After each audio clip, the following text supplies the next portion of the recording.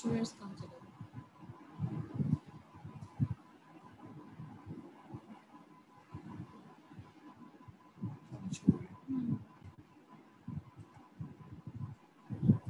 जी students अब आपको screen share हो रही है? Yes teacher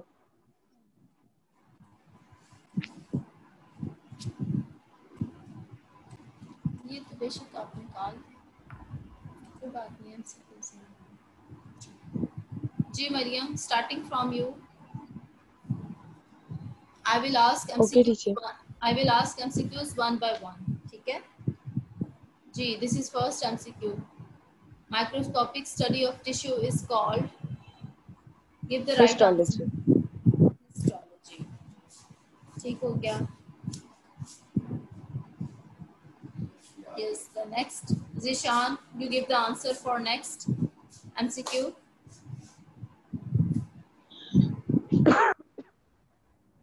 ji zishan read the mcqs hurry up hurry up zishan there's no time which in which diagnosis and treatment of diseases occur is जी कौन सा वो field है जिसमें हम डायग्नोसिस और ट्रीटमेंट जो है वो करते हैं कौन सा प्रोफेशन है medicine surgery medicine medicine medicine medicine yes good okay move on zara here is the next this is mcq for you study of insects is called study of insects. हरी आप हरी आप बेटा जल्दी से ऑप्शन पे click कीजिए no you don't know the answer Uh, ji Abdul Teacher, may I tell? First one. जी yes Noor you give the answer Zara I, I have marked zero for you in the first MCQ Teacher, histology. no no beta we are on the third MCQ Nuraiman study of insects Okay. is called study of insects Ma'am, entomology. Entomology. जी Nuraiman entomology Entomology. ठीक हो गया good yes abdullah this is your turn for the fourth mcq give answer for the fourth mcq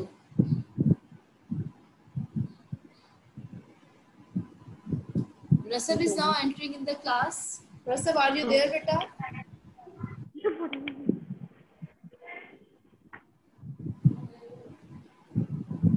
ji abdullah hurry up otherwise i Ma'am? will i will mark zero. Ma'am, this is three percent.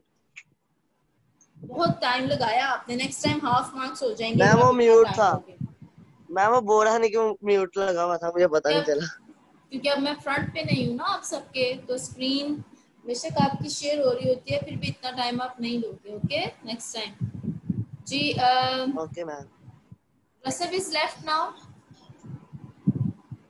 yes, miss. Teacher, Noor is also left. Yes. I have told से पूछ नूर रही ने एक हो चुका है third wala. Ji रसब Oh, the author of Al Qanun fil Tib the author of Al Qanun fil Tib इसका author कौन है बू Teacher, yes B one miss Yes, right. Ji Mariam this is again your turn okay number six MCQs the study of internal structure of organism is called anatomy anatomy very good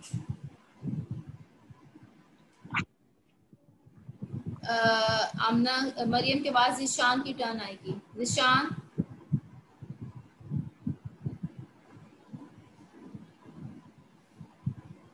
जी जी शान as a bio element the percentage of carbon is as a bio element the percentage of carbon is 18% 19% 20% और 21% आप जल्दी से answer कीजिए। नहीं जिनकी सीने पीछे बुक खुली हुई तो।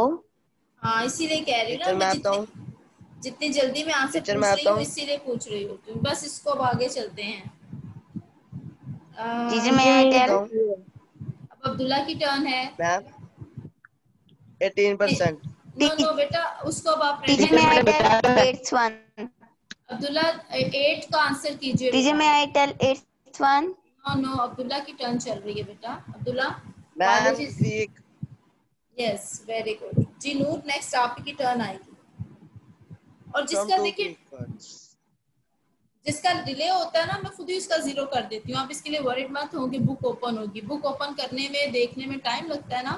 मुझे पता चल जाता है कि इस टाइम तक अगर आंसर नहीं आया Yes. तो I will mark zero yes Noor now this is your turn for next MCQ the study of plants is called Botany. Botany. botany. Botany. It's not botany. Bot- botany. Okay. Zara now this is your turn zara particles of atom present atom के जो particles होते हैं कौन सा level होते हैं हरी अब Zara हरी आप molecular level. Oh no no no no wrong answer. It's a subatomic level. Is the right one. जरा आपने लास्ट लेक्चर में एब्सेंट थे ना आप हम्म इसीलिए कॉन्सेप्ट नहीं ले पाए आप। लास्ट लेक्चर आपने अटेंड नहीं किया। जी Rasad now this is your turn वो वो लिसीना वाज नॉट अ क्या नहीं थे वो इसमें से? Physician philosopher mathematician astronomer and poet in options में से कोई एक ऑप्शन है जो कि वो नहीं थे? Yes one mathematician. mathematician very good. Right answer. All students are done. Okay mariam now this is your turn next. Okay, teacher. the last question अब मैं पूछ रही हूँ सबसे। अच्छा जी we made every- इनके मार्क्स आप जी मैं मार्क्स साथ साथ लगा रही हूँ फिर आपको शो किए जाएँगे ये marks ji Mariam we made everything living thing from water ma'am मेरा this this verse is from which ji. Surah Anbiya very good Surah Anbiya very good yes Ishan this is your turn next हो गया बेटा मैंने जिससे पूछना है बस वही आंसर करें Ishan biology is type this is your turn biology is the scientific study of life life very good Zishan के बाद नूर है। नूर की टर्न आएगी ना? यस जी नूर डिवीज़न ऑफ़ नहीं ये रहने दें। अब्दुल्ला आप बताइए नूर आपको इसके बाद टर्न मिलेगी। Abdullah this is your turn division of biology deals with the study of division of biology deals with the study of plants तो कौन सी डिवीज़न होगी वो? हरी आप Abdullah. Okay zero zero Abdullah के ज़ीरो लग गए हैं भाई। आगे टीचर में आई टेल इसमें आए सारा वैसे आप बता दो लेकिन चूँकि टाइम ज़्यादा हो चुका होता है ना इसलिए बता दे वैसे। मैम आपकी आवाज़ नहीं आ रही। Division of biology which deals with the plant study of plant तो जारा कौन सी डिवीज़न होगी ये? मिस आपकी आवाज़ नहीं आई। हेलो आ रही आवाज़ आपको स्टूडेंट्स यस टीचर जी जारा गिव आंसर जी अब्दुल्ला। मैम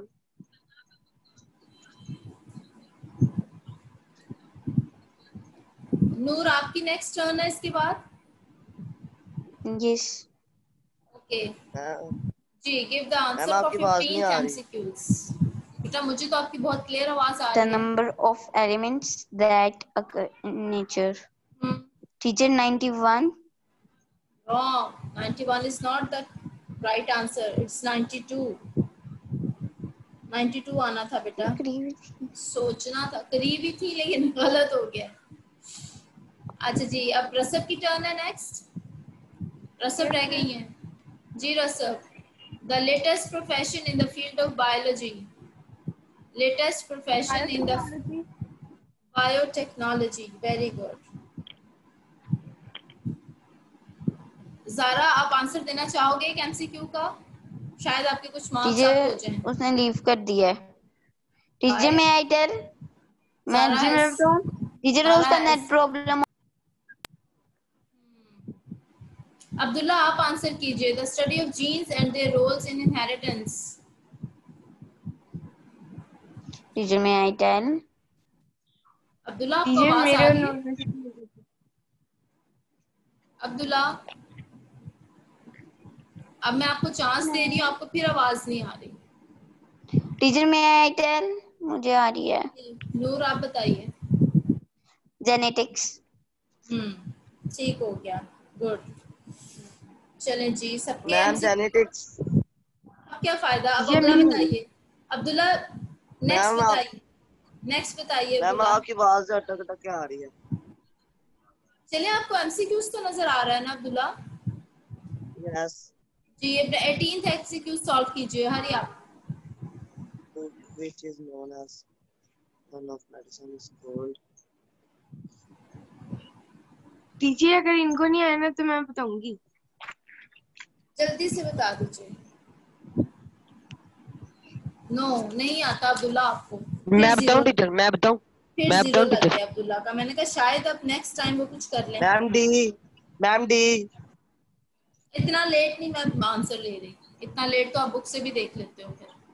मैम मैं तो आपको काफ़ी देर से बता रहा हूँ। मुझे तो आपकी आवाज़ नहीं आ रही काफ़ी देर से। मैम बुक तो मेरे पास अभी है नहीं यहाँ पे। टीचर इसे बोले अपना कैमरा ऑन यस करे। मैम चलें जी अब्दुल्ला लगा दिए मार्क्स मैंने आपके। अच्छा जी मार्क्स बता दो स्टूडेंट्स आपको सबको अभी जितने जितने आप सबने थ्री थ्री एमसीक्यूज में से मार्क्स लिए हैं?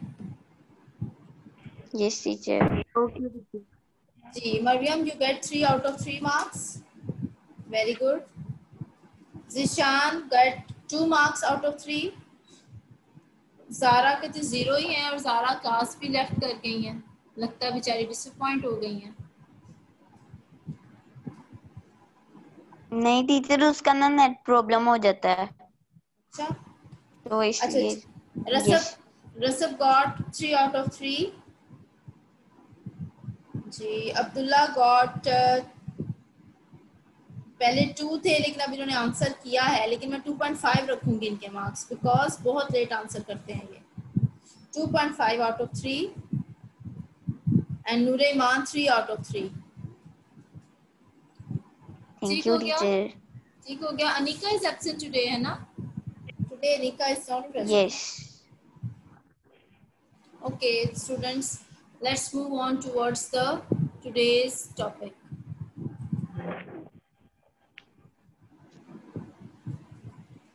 last on which topic we were कौन से लेवल तक हम कर चुके थे? ये मॉलिक्यूल वो यस मॉलिक्यूल टीचर मैक्रो हाँ Yes, बायो molecular level. तक Molecular level we have done with molecular level. Yes teacher जी उसके बाद आ जाते हैं ऑर्गेनालिस एंड सेल लेवल हाँ जी मैंने यहाँ पर आपको कोई पिक्चर दिखाई थी ऑर्गेनालिस की। कौन कौन सी ऑर्गेनालिस मैंने दिखाए थे? किसी को याद है? एक सेल मैंने ओपन करके दिखाया था। I show you a cell picture diagram of cell plants animal cell show किया था और साथ ही प्लांट सेल शो किया था और उसके इंटरनल जितने भी इंटरनल उसके पार्ट्स थे ना छोटे छोटे वो सारे मैंने दिखाए थे और इंटरनल पार्ट्स को कहलाते हैं कहा जाता है ऑर्गेनालिस सेल ऑर्गेनालिस ठीक है? कुछ याद आ रहा है या दोबारा से दिखाऊँ पिक्चर आप सबको? है। दोबारा से दिखाऊँगी तो फिर मुझे बहुत आगे जाना पड़ेगा स्टूडेंट्स सेल का एक जो डायग्राम है ना, वो दोबारा से शो करना पड़ेगा। चले मैं अभी आपको थोड़ी देर तक दिखाती हूँ। फ़िलहाल ऑर्गेनाइज और सेल लेवल पे आ जाते हैं। वी स्टार्टेड फ्रॉम कहाँ से स्टार्ट किया था? ऑर्गेनाइजेशन ऑफ़ लाइफ हम पढ़ रहे हैं ना कि लाइफ कैसे स्टार्ट हो रही है। तो हमने देखा था atomic level subatomic level molecular level और अब वो करते करते हम आ गए हैं ऑर्गेनाइज एंड सेल लेवल के ऊपर। सेल ऑर्गन जी। अब इसको अब हम रीड करते हैं कि कैसे ऑर्गेनालिस्ट जो है वो, जब सारे कंबाइंड हो जाते हैं, अपना अपना अपना काम, हर हर ऑर्गेनाली सेल के अंदर अपनी अपनी जो ड्यूटी है ना, वो परफॉर्म करेगा। And then a proper cell will come into an existence ठीक है जी? Abdullah, you read, Abdullah, you read the lines and then I will explain them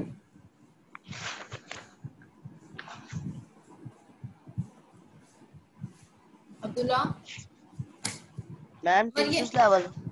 no organelle and cell level organelle and cell level Biomolecules assemble in particular way and form organelles. The organelles are actually sub subsul subcellular structure Sub- and when they assemble together cellular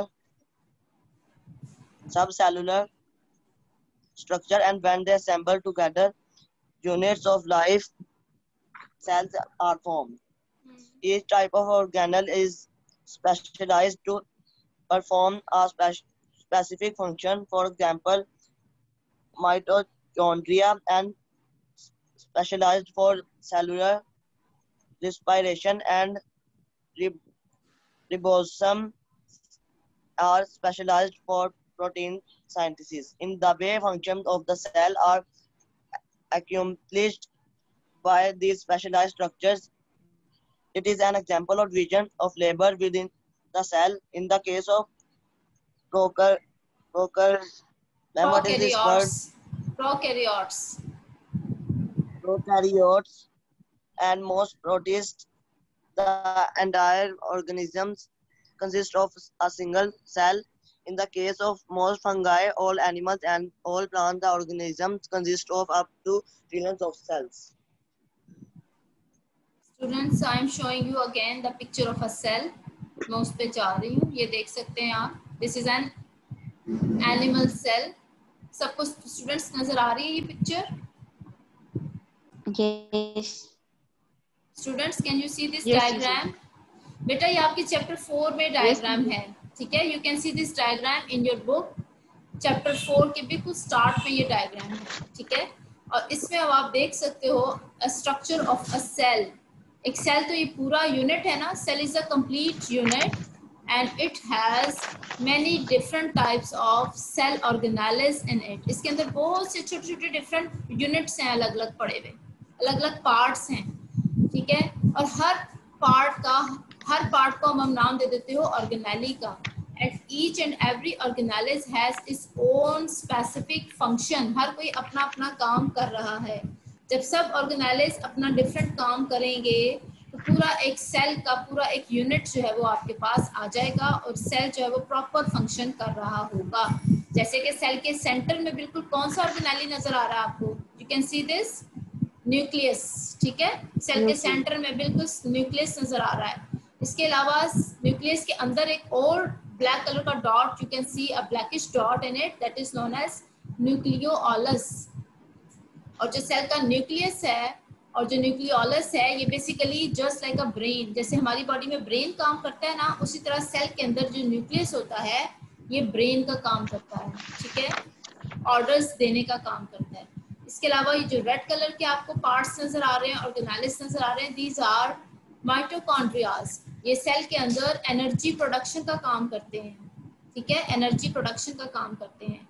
जो lysosomes हैं, यहाँ पर छोटे छोटे lysosomes नज़र आ रहे हैं। ये बॉडी के अंदर जो फालतू वेस्ट मटेरियल्स हैं, उनको खत्म करने का काम करते हैं।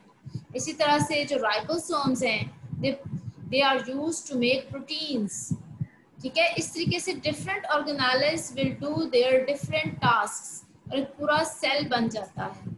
तो बताने का मकसद क्या है कि हमारी जो बॉडी है, उसके अंदर पूरी बॉडी अब आपको पता है और full body is made up of millions and trillions of cells ठीक है? तो हमारी बॉडी कब बनेगी? जब हमारी बॉडी के ये जो सेल्स हैं, ये आपस में प्रॉपरली कंबाइन होंगे और सेल के अंदर जितने ऑर्गेनालिज हैं, वो भी अपना अपना काम प्रॉपरली करेंगे तो फिर हमारी बॉडी आहिस्ता आहिस्ता डेवलप होना शुरू हो जाएगी। ठीक है? यहाँ पर कुछ एग्जांपल्स दी हुई हैं उन्होंने कि ribosomes are specialised for protein example दी गई है ना कि हर ऑर्गेनाली अपना अपना काम करता है। और इसी वजह से जब हर ऑर्गेनाली अपना काम करेगा सेल के अंदर तो वो क्या कहलाएगा? डिवीज़न ऑफ़ लेबर स्टूडेंट समझ आ रही है what is meant by division of labour Yes, teacher. अच्छा आपकी बॉडी अपनी बॉडी को ही एज एन एग्जांपल अगर आप समझते हो तो आपकी बॉडी में डिवीज़न ऑफ़ लेबर कैसे हो रही है? कोई बच्चा एग्जांपल दे सकता है कि how our body is working on the same principle कि हमारी बॉडी में भी डिवीज़न ऑफ़ लेबर है? Can anyone give example teacher for example digestive system teacher वो भी तो सारा एक ही काम करना है। हाँ जी हमारा जो डाइजेस्टिव सिस्टम है उसके अंदर जो डाइजेस्टिव सिस्टम हमारे बॉडी में बहुत से सिस्टम्स मौजूद हैं। डाइजेस्टिव भी है रेस्पिरेटरी सिस्टम भी है सर्कुलेटरी सिस्टम भी है यूरिन फॉर्मेशन सिस्टम है हार्मोन्स का अलग सिस्टम मौजूद है। हर सिस्टम अपना अपना काम कर रहा है। कोई किसी के सिस्टम में इंटरफेयर नहीं कर सकता। ऐसा नहीं हो सकता कि जो डाइजेस्टिव सिस्टम है, वो जाके यूरिन फॉर्मेशन का काम शुरू कर दें। ऐसा कभी भी नहीं होगा। यूरिन फॉर्मेशन का काम हमेशा हमारी किडनीज ही करेंगी। इसी तरह से हमारी जो किडनीज हैं, वो अपना यूरिन फॉर्मेशन कर रही हैं। ऐसा कभी भी नहीं हो सकता कि जो किडनीज हैं, वो जाके लिवर को डिस्टर्ब कर दें। लिवर का अपना फ़ंक्शन है कि वो डाइजेशन का काम कर रहा है। तो डिवीज़न ऑफ़ लेबर हमारी बॉडी के अंदर भी मौजूद है। और बॉडी के अंदर मौजूद होने का मकसद है कि ये तो और सिस्टम पर की मैं बात कर रही हूँ ना सिस्टम से नीचे कौन सा लेवल है? ऑर्गेनेली एंड सेल लेवल ये भी अपना अपना काम, हर चीज़ अपना अपना काम प्रॉपर तरीके से करती है तो प्रॉपर आपकी बॉडी जो है वो वर्किंग कर सकती है। इन केस ऑफ़ प्रोक्रियाट्स अब प्रोक्रियाट्स क्या होते हैं? प्रोक्रियाट्स वो वाले ऑर्गेनिजम्स हैं जिनके अंदर प्रॉपर एक सेल मौजूद नहीं होता। उनका सेल होता तो है but not in proper shape उसकी जितने भी ऑर्गेनालिज अभी जैसे कि मैंने अभी आपको सेल का एक स्ट्रक्चर दिखाया था तो cell was in proper its shape और हर ऑर्गेनेली अपनी अपनी प्रॉपर मेम्ब्रेन के अंदर मौजूद था। लेकिन जो प्रोक्रियाट्स होते हैं ना, वो ऐसे ऑर्गेनिज्म होते हैं, जिनका सेल तो होता है but it has not proper cell organelles बिल्कुल स्टार्टिंग स्टेज आप समझ लो सेल की, ठीक है? दुनिया में दो तरह के ऑर्गेनिजम्स हैं, एक को बोला जाता है यूकरियोट्स और एक को बोला जाता है प्रोकरियोट्स प्रोकरियोट्स बिल्कुल इनिशियल स्टेज है। ठीक है? लेकिन जो यूकरियोट्स हैं they are advanced stage of organisms उनके सेल बिल्कुल एडवांस शेप के होते हैं, जैसे कि मैंने भी आपको डायग्राम में दिखाया था। और हम जो ह्यूमन बींग्स हैं और हायर एनिमल्स हैं हायर प्लांट्स हैं, वो सब यूक्रियोट्स के अंदर आ जाते हैं एडवांस लेकिन जो प्रोक्रियोट्स होते हैं, वो बिल्कुल स्मॉलर ऑर्गेनिजम्स हैं, जैसे कि micro organisms they are prokaryotes ठीक है? एंड मोस्ट प्रोटिस्ट ये अभी आगे चल के आप सारी इंफॉर्मेशन uh, पढ़ोगे सारी क्लासिफिकेशन पढ़ोगे तो प्रोटिस्ट जो हैं they are very initial organisms उनके सिस्टम बहुत ज़्यादा प्रॉपरली अभी बने नहीं हैं बहुत ही इनिशियल स्टेज पर हैं। The entire organism consist of single cell अब आपको नज़र भी आ गया कि ये जो मोस्ट प्रोटिस्टा हैं या प्रोटिस्ट हैं और बहुत से प्रोक्रियाट्स हैं ऐसे ऑर्गेनिजम्स हैं जिनकी बॉडी सिंगल सेल पे बेस करती है। बस इससे ज़्यादा उनके पास कुछ भी नहीं है। In the case of most fungi, all animals and all plants, the organism consists of consists of, of trillions of cells. जबकि हम लोग जिसमें एनिमल्स प्लांट्स और और ह्यूमन बींग्स आ जाते हैं हमारी बॉडी में बहुत सारे सेल्स इकट्ठे होके एक पूरा इंडिविजुअल बॉडी बनती है एग्ज़ाम्पल दी गई है ना कि जो सेल है वो एक एक ऑर्गेनिज्म सिंगल सेल पे भी बेस कर सकता है और एक ऑर्गेनिज्म मिलियंस और ट्रिलियन सेल्स पे भी बेस कर सकता है। ठीक है? तो ये हो गया आपका सेल लेवल सेल लेवल्स का मतलब अब आप यही समझोगे सिंपल वर्ड्स में कि हमारी जब लाइफ का स्टार्ट होता है तो उसमें cell level is a basic importance और जब तक सेल नहीं बनेगा, हमारी बाकी बॉडी जो है वो नहीं बन सकती। ठीक हो गया? अब सेल के आगे चलते हैं। सेल के बाद next level is tissue level जब बहुत सारे सेल्स इकट्ठे होते हैं कंबाइन कर जाते हैं in the form of a group तो वो क्या कहलाते हैं? टिश्यू बन जाता है ठीक है? ऐसे सेल्स जो कि एक ही तरह के हों परफॉर्मिंग सेम फ़ंक्शन उनका फ़ंक्शन भी अगर सेम होगा तो वो बन जाएँगे टिश्यूज ये आप अपनी जूनियर क्लासेस में भी पढ़ के आए होंगे। हेलो यस टीचर आवाज़ क्या हुआ कम आ रही है आपको? No no, teacher तो जी, मैं म- जी मरियम आप रीड करें टिश्यू लेवल पे अब आ जाइए टिश्यू लेवल के ऊपर okay teacher tissue level in in multicellular organisms similar similar cells performing similar functions are organized into groups called tissues. We can define a tissue as a group of similar cells specialized for the performance of the common function. Each cell in a tissue carries on its own life processes like cellular respiration, protein synthesis, but it also carries on some special processes related to the function of this tissue.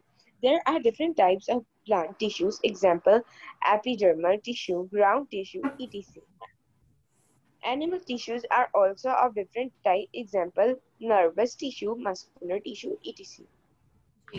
अब यहाँ पर आपको एक तो definition mark कर लीजिए students यहाँ पे। डेफिनेशन जो आ जाएगी we can define a tissue as a group of similar cells specialised for the performance of common function ये एक टिश्यू की प्रॉपर डेफिनेशन है, जिसका, जिस, जिसके मुताबिक एक टिश्यू को आप कैसे डिफाइन करोगे? ऐसे सेल्स का ग्रुप उसमें ग्रुप में बहुत सारे सेल्स आ सकते हैं मिलियंस और ट्रिलियंस ऑफ़ सेल्स भी आ सकते हैं या दो चार सेल्स भी आ सकते हैं डिपेंड्स कि वो ग्रुप कितना बड़ा है।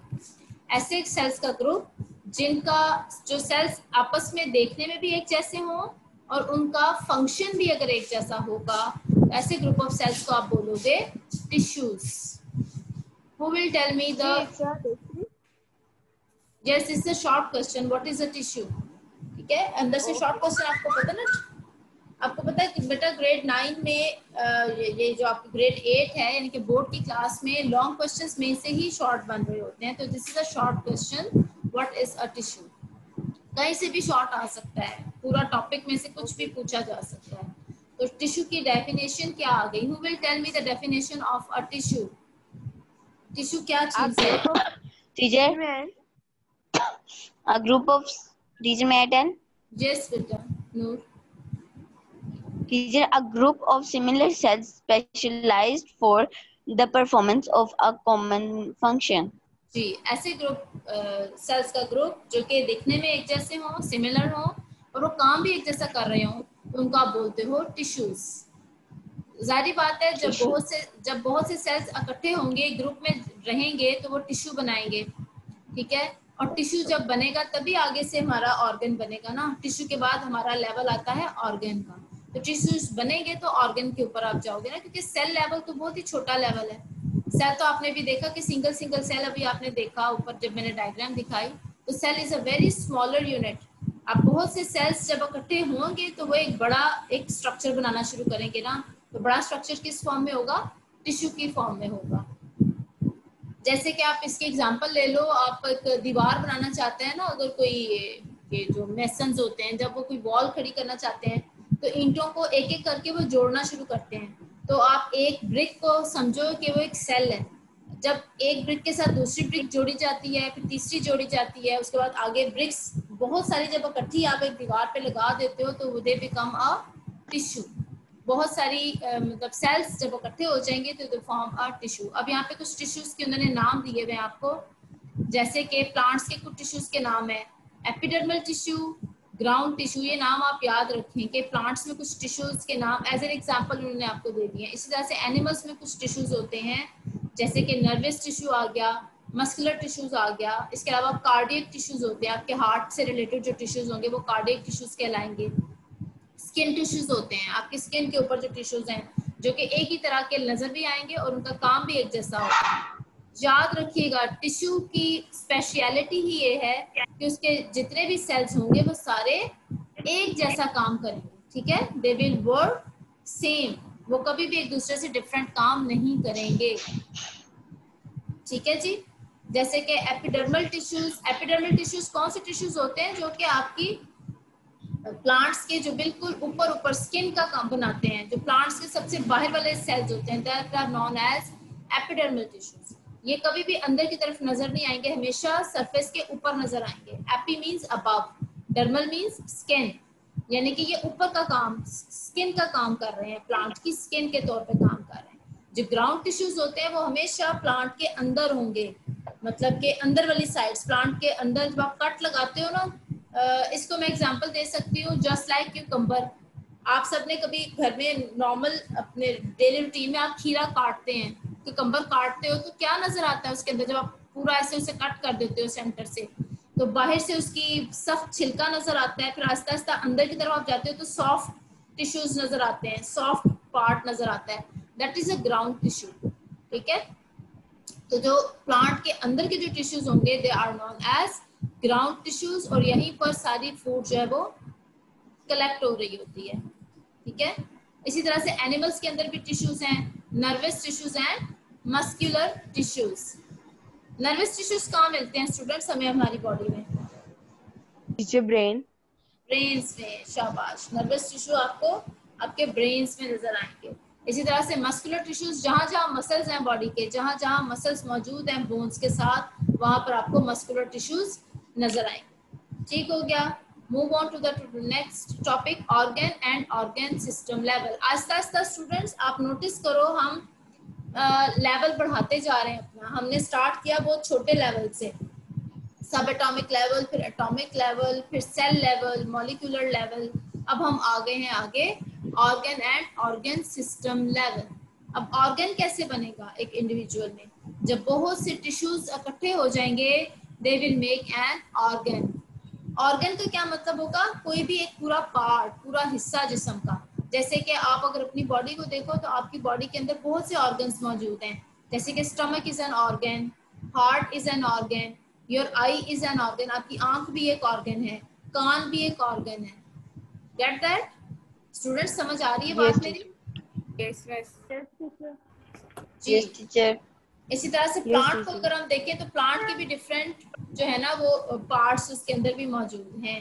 जैसे कि xylems and phloems are tissues है ना लेकिन प्लांट के भी डिफरेंट जैसे root is an organ stem is an organ leaf is an organ ठीक है? तो इस तरीके से ऑर्गन का मतलब है कि अब हम टिश्यूज को जब बहुत सारे टिश्यूज इकट्ठे हो जाएँगे they will make an organ okay who will read this रसब बेटा you read this paragraph organ को अब हम डिफाइन करेंगे what is an organ In high multicellular organisms, more than one type of tissue having related functions are organized together and make a unit called organ. Different tissues of an organ perform their specific functions and these functions collectively become the functions of that organ. For example, stomach is an organ specialized for the digestion of proteins and for storing food. Two major types of tissues uh, tissue are present in its structure.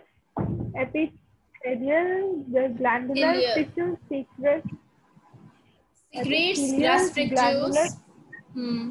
secretes glass gastric juice for the digestion of proteins. Muscular tissue performs contractions of stomach walls for grinding of food and moving food to posterior end.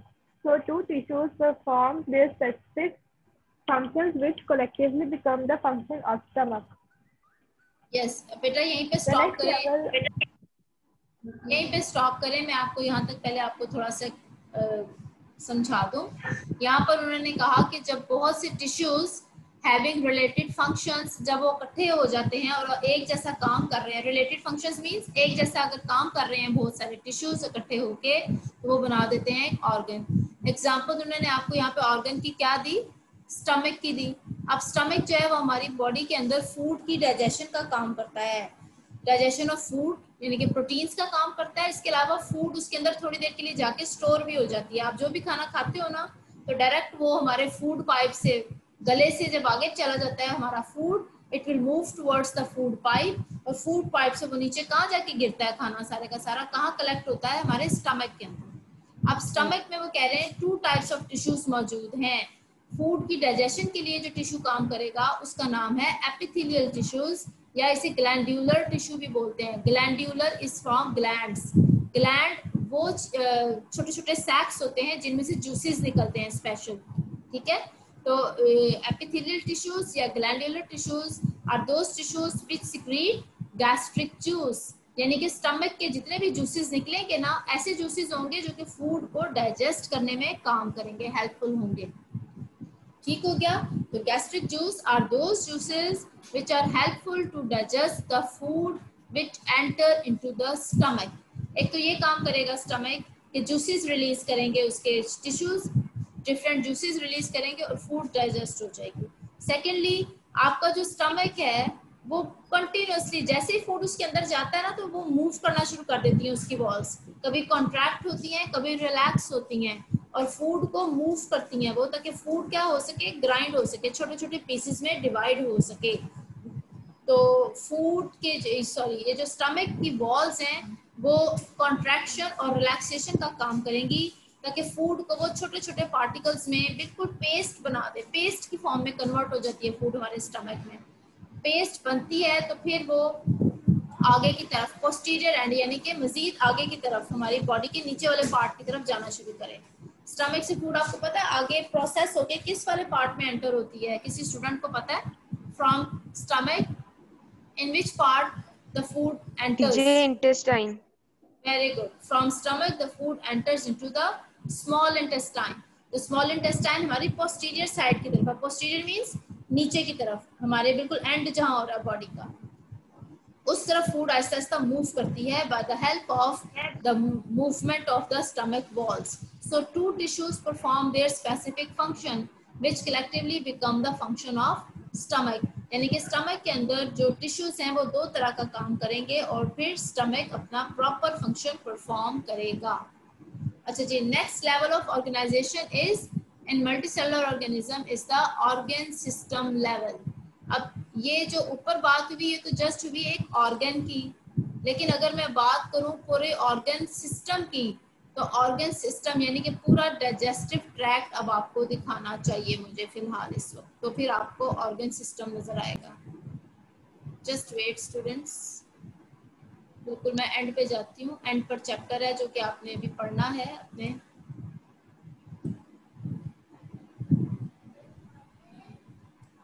यहाँ आएगा। Yes students you can see this diagram students आपको ये picture नज़र आ रही है? Yes teacher yes teacher all of you can see this picture yes teacher ये आपका है। अब्दुल्ला आपको क्यों नहीं नज़र आ रही? टाइम भी शॉर्ट हो रहा है जल्दी से देख लें। स्क्रीन आपको नज़र नहीं आ रही? मैम अब आ रही है। हाँ जी अब आप देखो ये ये बेसिकली क्या चीज़ दिखाई गई है? ह्यूमन बॉडी की डाइजेस्टिव सिस्टम दिखाया गया पूरा। एंड दिस इज़ द ये हमारा क्या है? ऑर्गन सिस्टम लेवल मतलब हमारा डाइजेस्टिव सिस्टम है पूरा। अब इसमें आप देखो दिस इज़ द स्टमक और ये आपका जो है ऊपर से फ़ूड पाइप है, जो कि ऊपर की तरफ़ ये देखिए हमारा माउथ माउथ से फ़ूड पाइप फ़ूड पाइप में फ़ूड एंटर होती है स्टमक से स्टमक में से फ़ूड जाती है हमारी ये स्मॉल इंटेस्टाइन में स्मॉल इंटेस्टाइन से फ़ूड एंटर होती है लार्ज इंटेस्टाइन में लार्ज इंटेस्टाइन से फ़ूड फिर आहिस्ता आहिस्ता बाहर की तरफ़ निकाल दी जाती है, जो वेस्ट होता है वो बाहर चला जाता है। अभी आप देखो, कहने को ये एक सिस्टम है डाइजेस्टिव सिस्टम ठीक है? लेकिन इसके अंदर कितने सारे ऑर्गन इकट्ठे काम कर रहे हैं? Stomach is an organ food pipe is an organ small intestine is an organ large intestine is an organ ये सब अलग अलग ऑर्गन्स नज़र आ रहे हैं आपको। Liver is an other separate organ ठीक है? Gall bladder is an organ तो ये जितने भी अलग अलग आपको पार्ट्स नज़र आ रहे हैं, ये सेपरेट ऑर्गन्स हैं। लेकिन ये सब मिलकर काम कर रहे हैं एक सिस्टम के अंदर, और इसको बोला जाएगा system level organ system level ठीक है? और ये कौन सा सिस्टम है ऑर्गन्स का? Digestive system this is the digestive system तो यहाँ से आप बात समझ लो कि जो हमारा ऑर्गन लेवल ऑर्गन लेवल एक अलग चीज़ है और जब बहुत से ऑर्गन्स इकट्ठे होकर मिलके काम करेंगे तो वो बनाएँगे ऑर्गन सिस्टम लेवल ठीक हो गया? समझ आई बात स्टूडेंट्स आपको? Yes teacher. चलें जी आज का टॉपिक हम यहीं तक रखेंगे। Yes, आज यहीं पर रखेंगे और आपने इन दोनों ये जो मैंने आपको करवाए हैं टॉपिक्स आपका कौन कौन से दो टॉपिक्स आज हमने किए हैं स्टूडेंट्स जरा रिकॉल कर लेते हैं।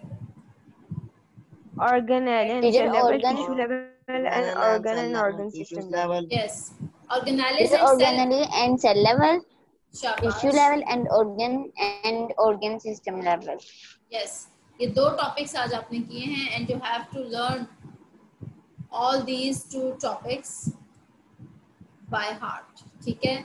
और अ, इसमें मुझे बताइए मुझे write question define tissue only? No no मैं आपको बता रही हूँ नेक्स्ट क्वेश्चन मैं आपको बता देती हूँ। मैं एक्चुअली ना स्क्रीन पे देख रही हूँ कि कहाँ है। बताइए इसमें से मजीद और कोई क्वेश्चन अगर बन सकता है। ऑर्गन की डेफिनेशन ले ले। व्हाट इज़ एन ऑर्गन ठीक है? जस्ट वेट आपकी टाइम एंड हो जाए।